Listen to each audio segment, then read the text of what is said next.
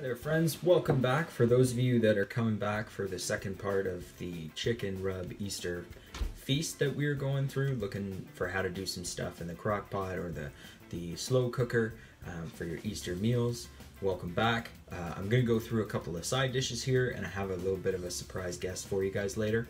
Um, hope you guys enjoy and I hope you find it helpful. So let's uh, dive in. Okay, so first things first, whenever I'm prepping anything to go into the slow cooker or uh, the instant pot, I always like to add a little bit of substance, something for the protein portion to sit on.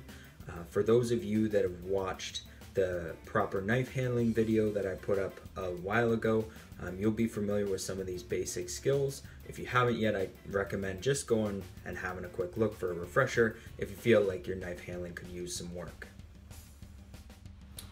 Okay, so the first thing I like to do is I like to take my onion. Now you can use white, red onion, or whatever vegetable substitutes you really want. I like the white onion because it cooks up really nice. It's not too powerful, um, but it gives a nice fluidity um, when you're cooking up your chicken. So just like before, you're gonna top off both ends.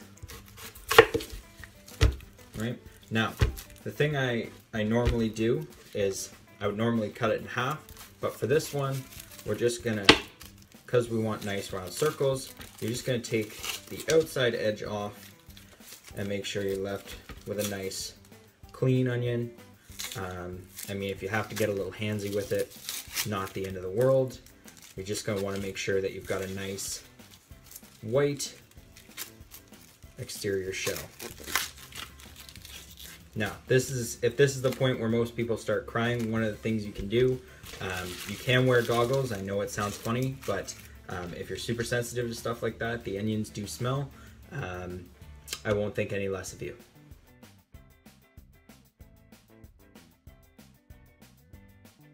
So now that you've got your onion peeled, you're gonna turn it on its side. You're gonna make nice, even, thin cuts, okay? You don't need them too thick. You're just basically trying to cut the bottom. If you feel like it's a little too thin, that's okay. Again, this isn't the the huge part of the meal that's most important. This is just to add a little substance and flavor. And you really just want to make sure you cut enough to coat the bottom of whatever pan, crock pot, instant cooker that you're using so you can lay them out flat. So what you see here is once again I've got my station set up. On the left there, I've got the inside of the Instant Pot I'm going to be using and the onions I just chopped up for you. So what you'll see is the inside here, all we're going to do, we're just going to lay the onions nice and flat along the bottom.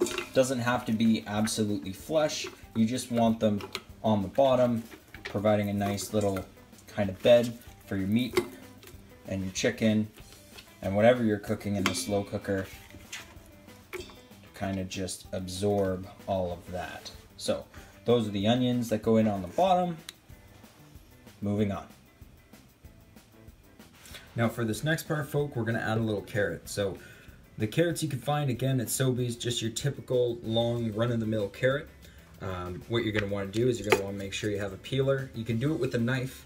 Um, just go very, very carefully, uh, unless you're a pro. Um, now the key here is to go along the length of the vegetable and you should pull off nice long strands like that. Um, if you come up against any rough edges or anything like that, um, you can always cut it into smaller pieces if you've got a weird shaped carrot or something like that. Um, you can always cut it into more manageable pieces and then you switch it around to take the top part. And as you can see, very easy to do, very, very quick to do. All right, so once you've got your carrots all peeled, you'll see I'm just using three here, medium-sized carrots. What you're gonna wanna do is you're gonna wanna take the top portion off, and I usually take the bottom portion off just to be sure I've got everything cleaned. Now you'll notice here, this one's a little weird shaped, so what I might do is I might just cut that in half, and then just like before, you're gonna work on your knife handling, you're gonna put your three fingers up, and you're just gonna go ever so lightly with a rough chop there, making nice little roundels. Now you'll see here, they're all, they look kind of like coins. You can just pick those up and place them willy-nilly in the Instant Pot.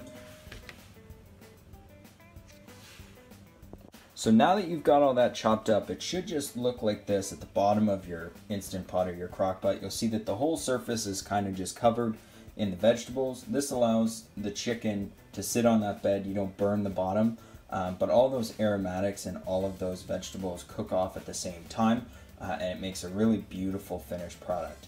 Now, what you're gonna do next is you're gonna come over here and you can see this kind of rack thing. Um, if you have an Instant Pot or a bottom for your crock pot, that's kind of what you want to do. The chicken will sit just on that, and it's just so um, it doesn't get stuck to anything. Um, so you put that in right over the vegetables there. So now that you've got that all set up, your wire rack is in, what you're going to want to do is you're going to want to add just a little bit of water um, just to coat the bottom and make sure that there's some moisture in there so as it cooks off. And I mean, use your best judgment. You know how big your your crock pot or your your instant pot is. So I've added about about three quarters of a cup just, just to make sure that there's enough there so that I don't burn any of the carrots or the onions to the bottom and gives them ample moisture to cook through with the chicken.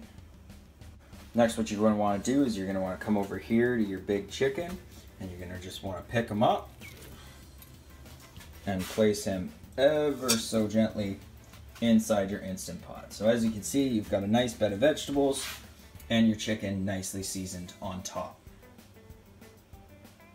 So now that chicken's in the Instant Pot, all you're gonna do, you're gonna put the lid on it, you're gonna leave it to cook for about 35 minutes. Um, use the instructions that come with the piece of equipment you're using. If you're using a slow cooker, just keep an eye on it.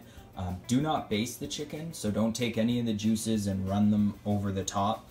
Um, what you'll end up doing is washing down um, all of the dry rub off the chicken, and you'll have some parts that are seasoned very well and others that are not. Um, as the carrots and the onions at the bottom cook up, the aromatics and all of that will mix, and you should end up with a fantastic chicken. Um, if you're looking for sides and things to go with that, um, check out some of my other videos. Um, one we'll be doing shortly is Tegan's garlic bacon mashed potatoes, um, so stay tuned for that. Um, I'll show you what that looks like finished in just a couple moments here. Alrighty folks, so it's been about 35 minutes here in the Instant Pot. Um, it's been pressure cooked, so I'm just going to take the lid off here.